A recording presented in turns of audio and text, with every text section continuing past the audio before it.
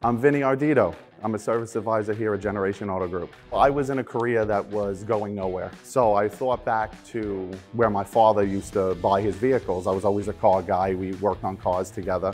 And he always told me, he's like, you know, why don't you go to try to work for Generation Kia? He's like, you know, I'm friends with Patty there. I think you would be a great fit, you know. After he passed though, those words kind of stuck in my head. And I saw that Generation Kia was hiring a service advisor.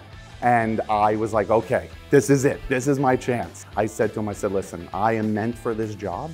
Told him about my father, how he, he wanted me to work here. And they gave me a chance. And that was literally the best thing that has happened to me in my entire professional career. You know, Joe, the owner, uh, and his family really welcome you in and you feel like you're a part of it. The opportunity that I have to come to work and love where I work uh, not many people can say. And on top of that, love your boss. It's just such a good place to be that I couldn't imagine working for any other dealer, let alone any other place.